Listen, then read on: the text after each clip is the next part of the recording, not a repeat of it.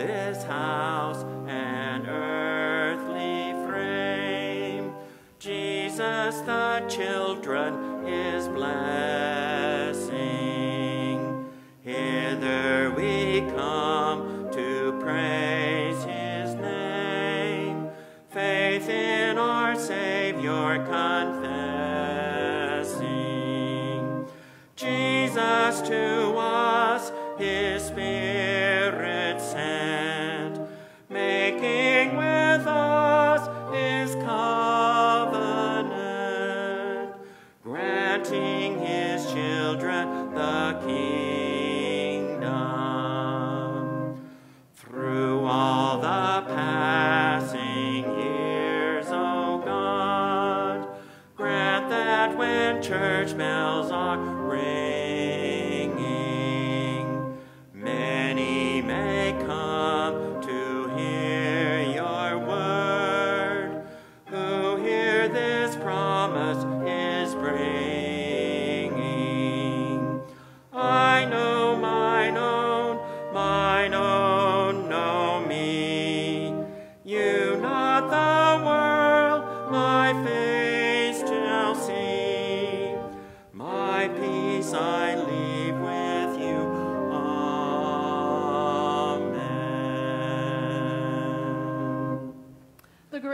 our Lord Jesus Christ, the love of God, and the communion of the Holy Spirit be with you all. And also So- with you.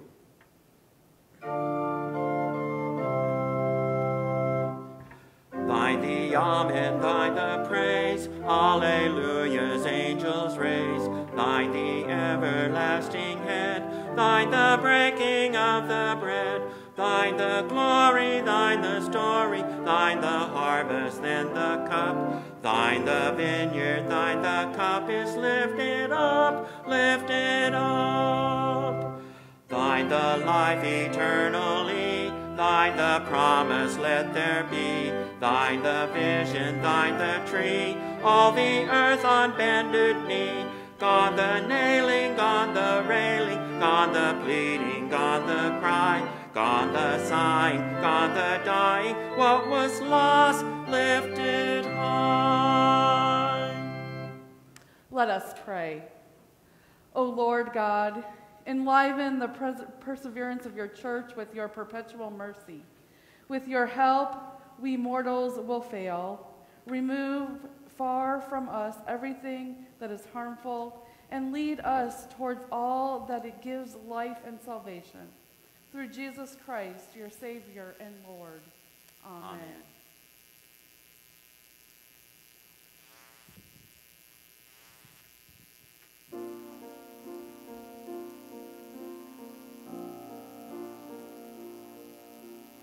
Amen.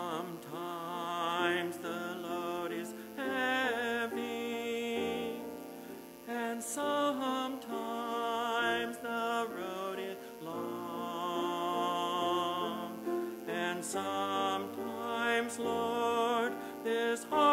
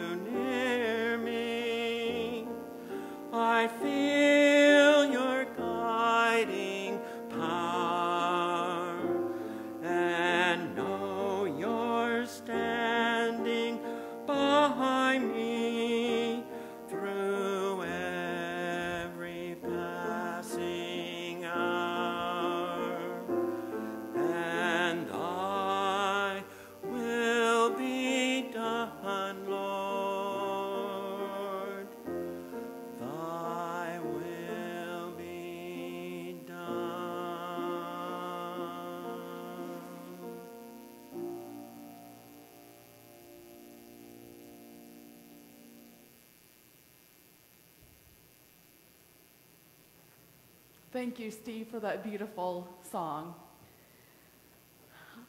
A reading from Matthew. Jesus said to the disciples, If another member of the church sins against you, go and point out the fault when the two of you are alone. If the member listens to you, you have regained that one.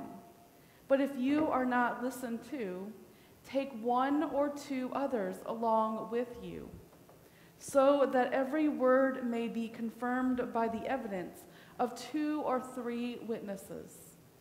If the members refuse to listen to them, tell it to the church. And if the offender refuses to li- listen to them, listen even to the church, let such a one be to you as a Gentile or a tax collector. Truly I tell you, whatever you bind on earth will be bound in heaven, and whatever you loose on earth will be loosed in heaven. Again, truly I tell you, if two of you agree on earth about anything you ask, it will be done for you by the Father in heaven. For where two or three are gathered in my name, I am there among them. Word of God, word of life. Thanks be to God.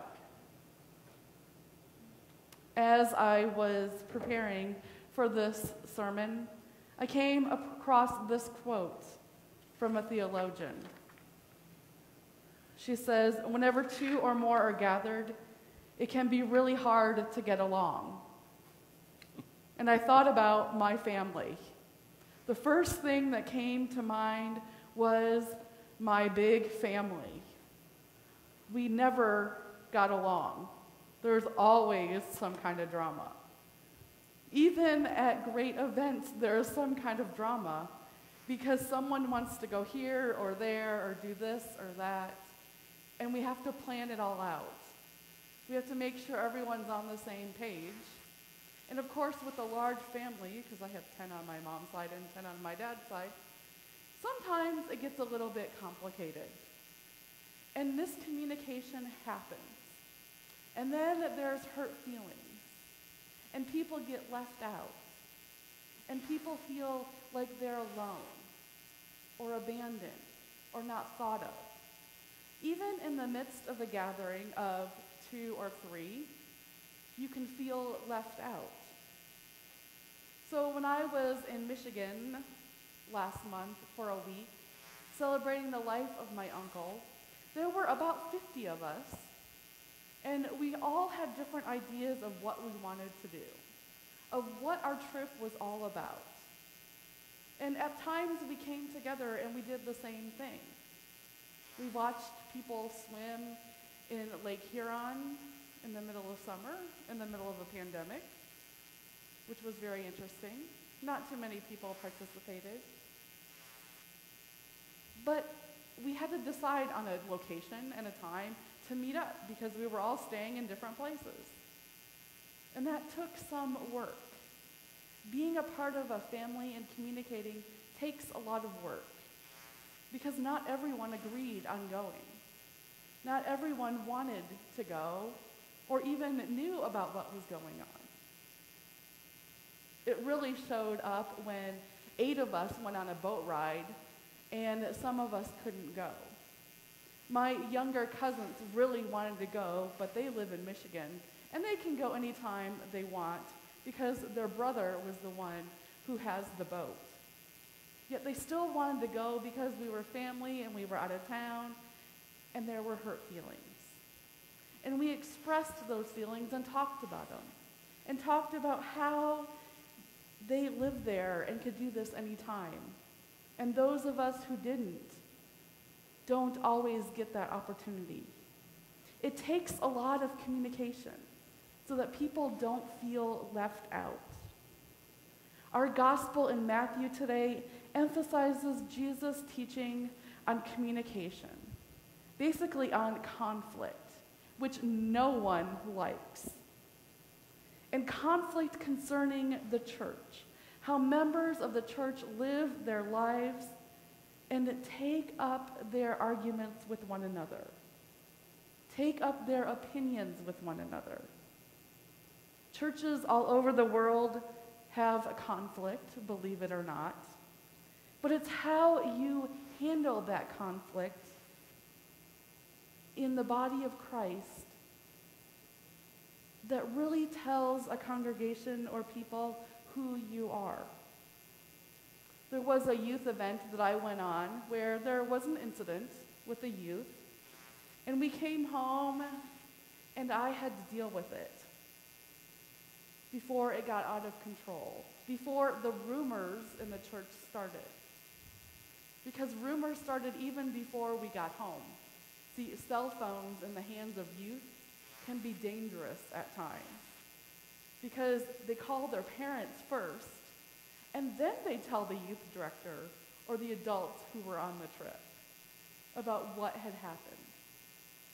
I was like the second or third person to find out what had happened, and I was right there with the youth. But I had to call the parents and say, wait a minute, let's stop and think and talk about what had happened. Let's get together before this becomes a big rumor, before it becomes a conflict, so everyone can work out the details.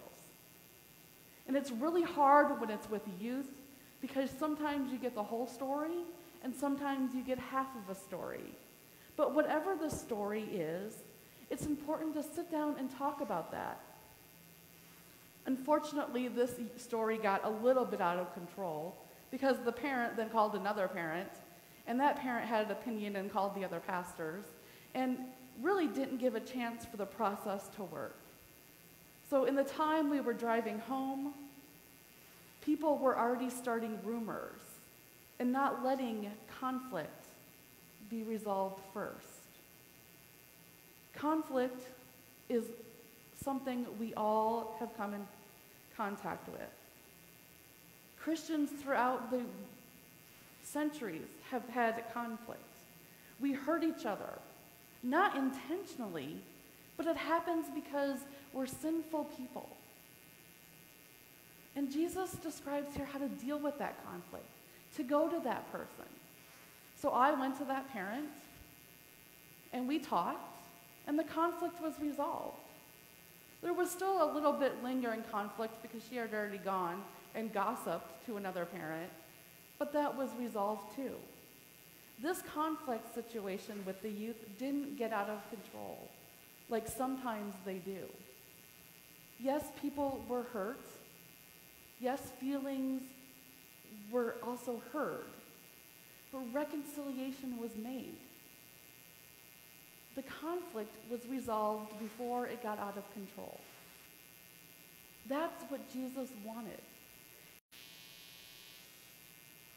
Matthew, the writer of Matthew, and all of the Gospels remind us that we are sinful people, that conflict happens, and yet we are called to forgive. Throughout this chapter of Matthew, chapter 18, we will hear more about how Jesus calls us to forgive. Remember that where two or three are gathered, conflict will probably occur because we do have different opinions. But it's Christ who calls us together. Christ who calls us together to listen to one another. We don't always have to agree, but we're not called to run away from it or make it become gossip. We're called to enlighten it, to open it up, to talk about it, to offer the different opinions, to listen to each other. Jesus challenges us to forgive our brothers and sisters, to speak with love, just as Christ has spoken to love for each of us. Conflict helps us clarify our values and our priorities in our relationships. Not all conflict is bad conflict. Sometimes there's even good conflict. But either way, we're called to be brothers and sisters in Christ, knowing that Christ is forgiving us. At the beginning of the service, we confessed our faith and your sins were forgiven. So this day, know that your sins are forgiven. Know that Christ loves you. Know that your life is changed because of your baptism, because of your belief in Jesus.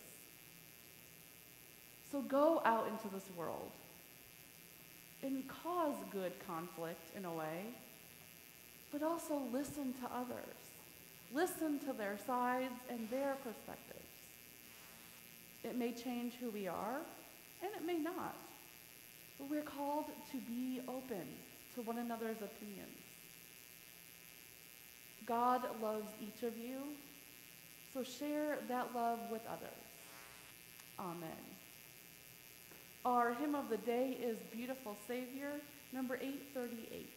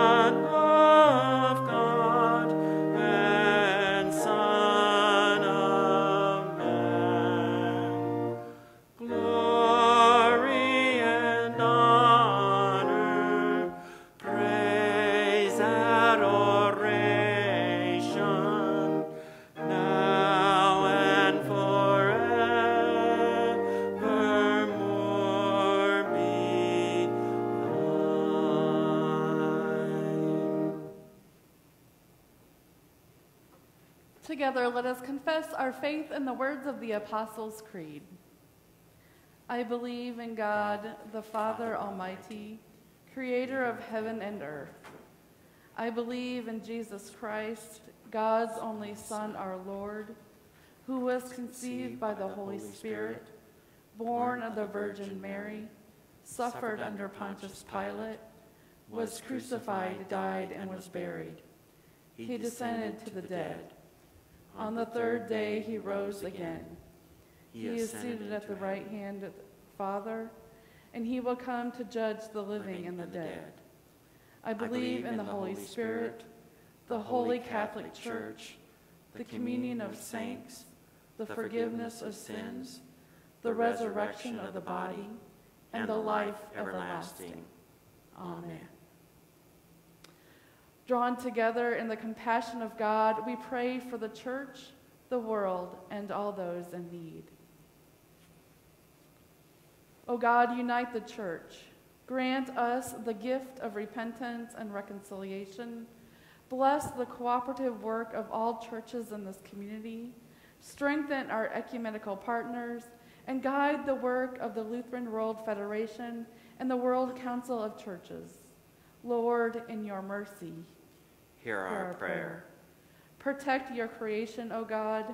Teach us ways that, do, that we do not harm or that you have entrusted us to care for the earth.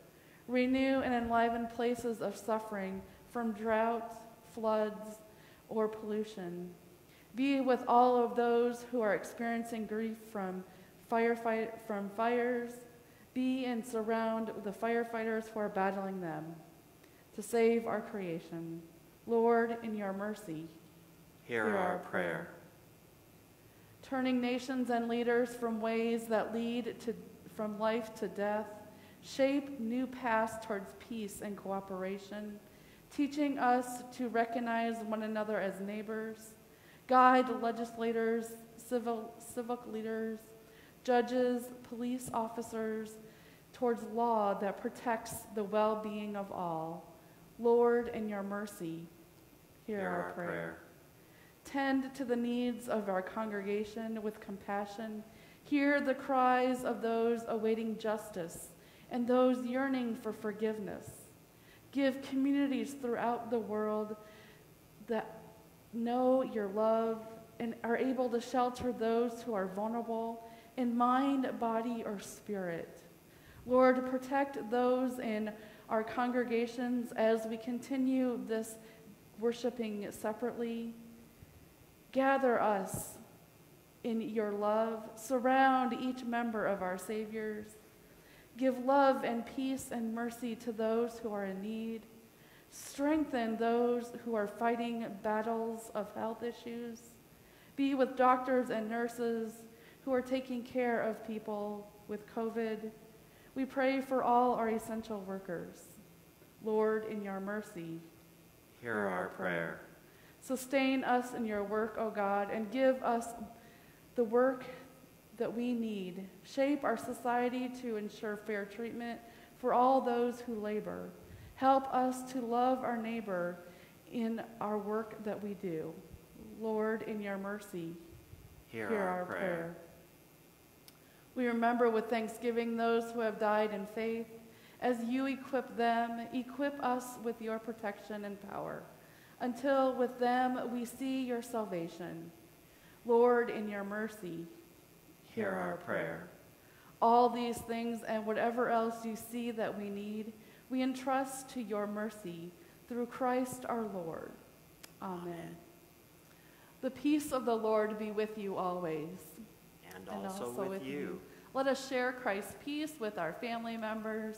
We are so thankful that you are worshiping with us this morning and the gifts that you continue to give us to support this ministry here. Our preschool is still going and we are moving forward alive and well. So thank you for all those donations for our preschool as well. I invite you at this time to have um, your communion ready. The Lord be with you and also with you. Lift up your hearts. We lift them to the Lord. Let us give thanks to the Lord our God. It is right to give our thanks and praise. In the night in which he was betrayed, our Lord Jesus took bread, gave thanks, broke it, and gave it to his disciples, saying, Take and eat. This is my body given for you. Do this in remembrance of me. Again, after supper, he took the cup, gave thanks, and gave it for all to drink, saying, This cup is a new covenant in my blood, shed for you and for all people, for the forgiveness of sin. Do this in remembrance of me. Lord, remember us in your kingdom and teach us to pray. Our Father, who art in heaven, hallowed be thy name. Thy kingdom come Thy will be done, on earth as it is in heaven. Give us this day our daily bread, and forgive us our trespasses, as we forgive those who trespass against us. And lead us not into temptation, but deliver us from evil. For thine is the kingdom, and the power, and the glory, forever and ever. Amen the body of Christ given for you, the blood of Christ shed for you.